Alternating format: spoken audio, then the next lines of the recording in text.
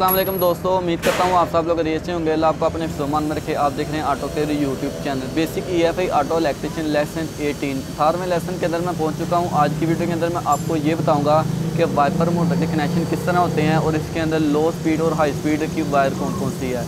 कैमरे को करीब कर लेता हूँ, ठीक है?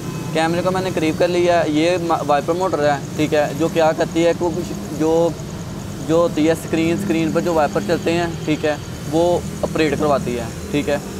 आप इस पर ये देखें ये वाइपर मोटर है। वाइपर मोटर के बाद आपको आ, आ जाती है ये ग्रिप ठीक है? इसके कनेक्शन समझाऊँगा। इसके जो मेहरान के कनेक्शन होते हैं वो ये होते हैं कि जो येलो वायर होगी ये आपकी चाबी स्विच की वायर होगी ठीक है? और उसके बाद आ जाएगी ब्लू में वाइट ये वायर होगी आपकी लो लो स्पीड की, ठीक है? इसके अंदर दो स्पीडें होती हैं, लो और हाई स्पीड ये दोनों मेहरान के अंदर आपको मिलेंगी।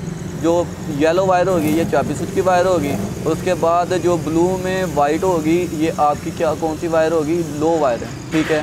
यानी कि लो स्पीड उसके बाद आ जाएगी, ये ब्लू में येलो आ जाएगी ये ब्लू में रेड आ जाएगी, ये वायर होगी आपकी हाई स्पीड उसके बाद हाली ब्लू आ जाएगी। हाली ब्लू क्या करती है कि ये मोटर के अंदर से होती हुई जब डंडी स्विच के पास जाती है तो फिर ये दोनों वायर निकालती है लो और हाई पॉइंट की, यानी कि लो स्पीड और हाई पॉइंट हाई स्पीड की, ये दो वायर निकालती है।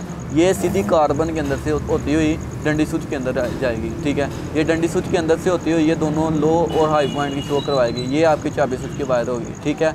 अब वाइपर मोटर है, वाइपर मोटर को मैं लगाता हूँ, ठीक है? ये मैंने वाइपर मोटर की ग्रिप लगा दी, उसके बाद मैंने क्या किया, मैंने इसको अलहदा से अर्थ दिया। अलहदा से मैंने इसको अर्थ दिया। जब मैंने इसको अलहदा से अर्थ दिया ये देखें। अलहदा से मैंने इसको अर्थ दे दिया। कैमरा मैन ज़रा पकड़ेगा ठीक है? तो मैं उसके बाद क्या करता हूँ?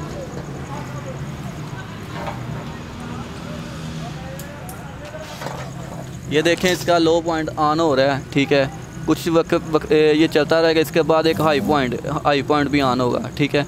यानी कि दोनों पॉइंट इसके ऑन हैं। तो ये है वाइपर मोटर वाइपर मोटर में मैंने आपको कनेक्शन बता दी। है आप सब लोगों से यही गुजारिश करूँगा यार चैनल को दूर सब्सक्राइब करें और बेल आइकन पर ज़रूर प्रेस कर दें ताकि आप तक आने वाली वीडियो में आसानी के साथ पहुँचा सकूँ। इसके अलावा कमेंट बॉक्स में कमेंट करें। मैं आपके लिए अच्छी वीडियो लेकर आऊँगा। ये बेसिक बेसिक इलेक्ट्रिशियन की वीडियो है। आपको सिखाने के लिए अगर आपको ये चीज़ें आती होंगी, आप दूसरी चीज़ें भी सीख लेंगे।